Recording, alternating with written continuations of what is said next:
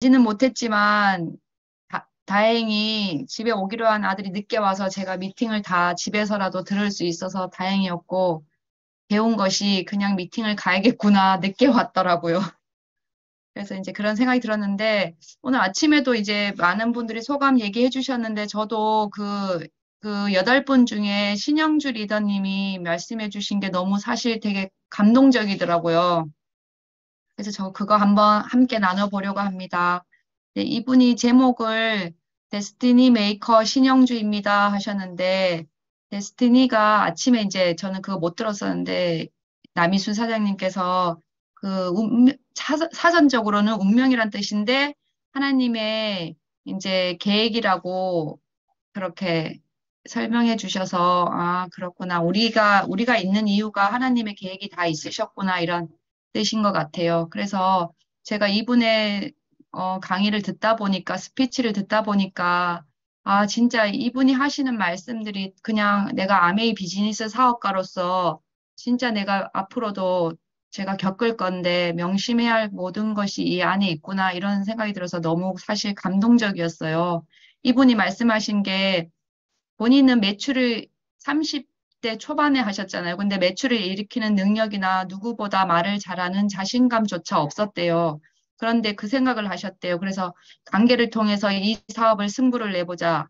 나의 경쟁력을 그 사람과의 관계를 잘하는 것으로 선택하셨는데 많은 사람을 알지 못했던 것이 본인은 오히려 성공의 비결이었다고 하시면서 그 가까이 있는 사람을 감동시키면 멀리 있는 사람을 얻을 수 있다 이런 생각으로 말씀하시면서 지금 여러분 옆에 있는 그분을 감동시키면 그분의 마음을 얻으면 그분을 통해서 평생 함께할 파트너를 만나게 되는 일이더라 하시고 사랑에 대해서 많이 얘기해 주셨어요.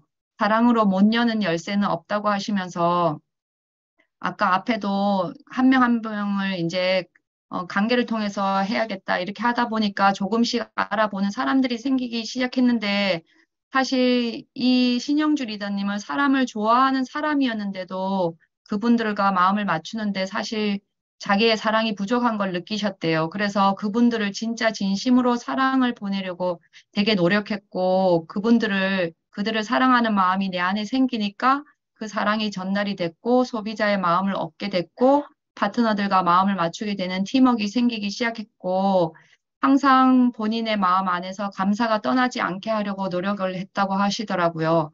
성공하고 똑같은 단어가 있다고 하는데 바로 감사였다고 제 안에서 감사가 떠나지 않게 하려고 노력했고 내 안에서 감사가 끊임없이 흘러나올 때 본인의 사업이 성장했던 것 같다 하시면서 다른 사람에게는 사랑을 나에게는 감사를 그런 마음으로 해나가셨대요. 그리고 또 손해가 복이다고 만나는 사람들에게 밥을 더 샀고 홈미팅 때 재료비가 비싼 것은 다 본인이 했고 웬만하면 파트너들이 돈을 쓰지 않게 하려고 노력했고 지금도 그거는 마찬가지를 하시면서 그분의 스폰서님이 어, 성함을 까먹었는데 하여튼 나오셨는데 그날도 스폰서님 별명이 서초동 마돈나인데 저는 신동탄 마돈나다 하면서 항상 이분이 밥을 사니까 어떤 이제 사람들이 아 이제는 제가 밥 한번 살게요 할 때 아니야 나는 신동탄 마돈나야 나는 밥 사는 게 행복해서 아메이 하는 거야 하며 즐겁게 밥 사신다고 그러시면서 밥을 많이 사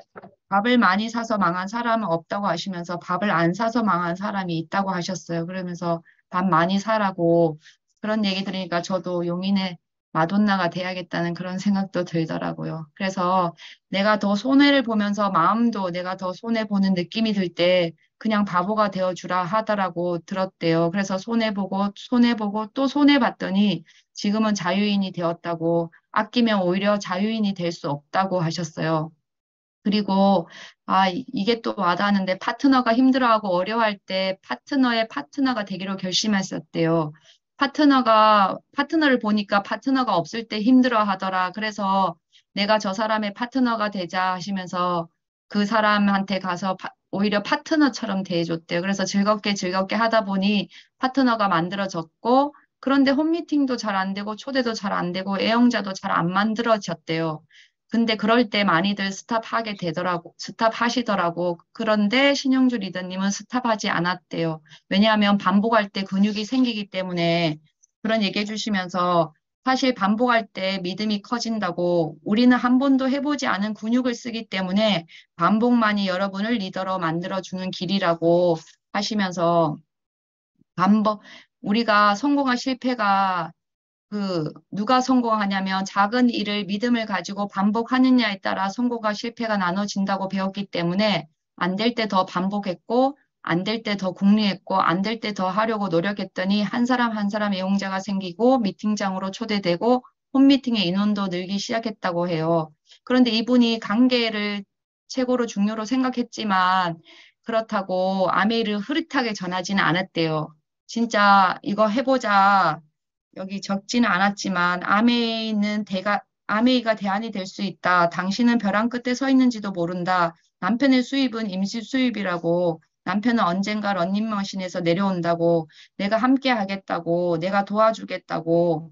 그렇게 얘기했고 그것을 거절할 때 그 거절을 맞서는 게 오히려 쉬웠다고. 그러니까 이순신 아메이 하지 말라고 하시면서 정, 정면으로 돌파하셨다고. 그러니까 아메이 하면 음, 제가 떠오르니까 사람들이 소개를 많이 해주게 됐대요. 그리고 또 저희에게 해주신 말이 더 잘하고 싶으세요? 정말 그러면 더 많이 실패하셔야 돼요.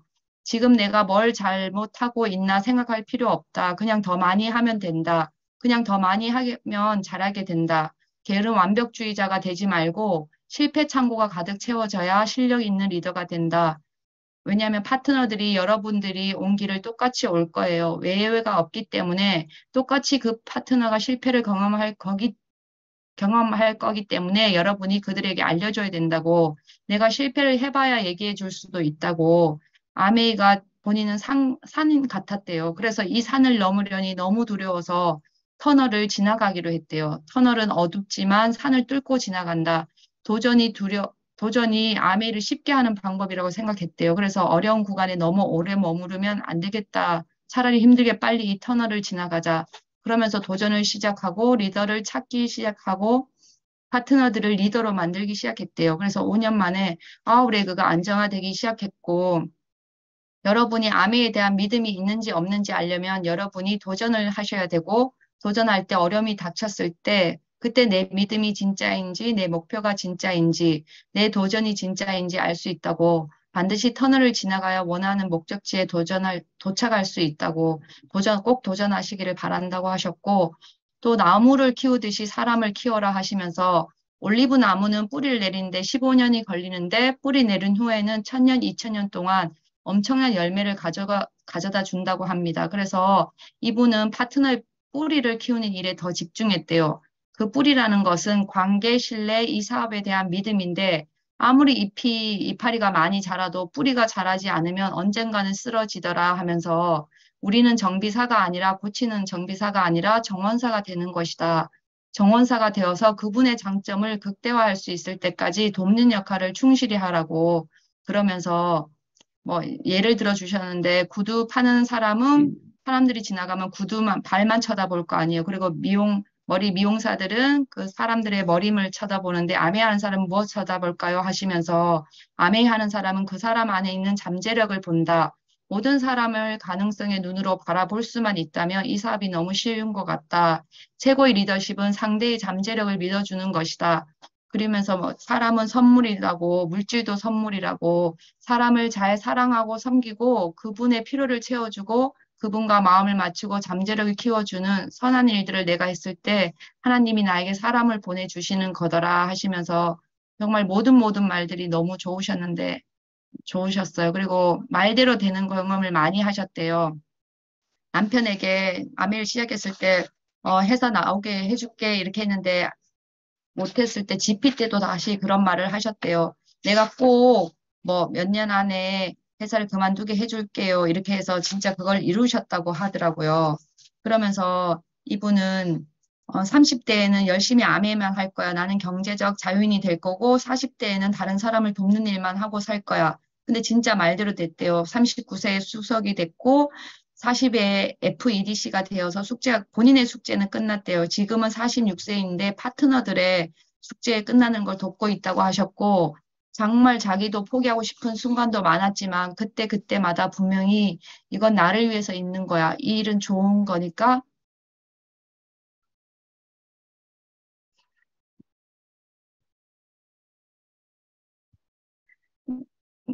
나에게 주신 거야.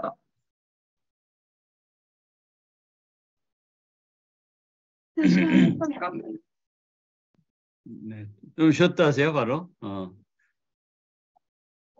아무튼 어, 일은 좋은 거니까 나에게 주신 거야. 내가 여기서 깨달아야 다음 단계로 나갈 수 있어. 그 모든 과정을 하나님의 사랑하고 이겨냈던 것 같다고 하시면서 지나고 보니 모든 시간이 나를 향한 사랑이었고 나를 정말 진정한 성공자로 만들어 주려는 시련이었고 테스트였다는 걸 우리 앞에 증인, 증인이 될 수 있어서 감사했다고 하시고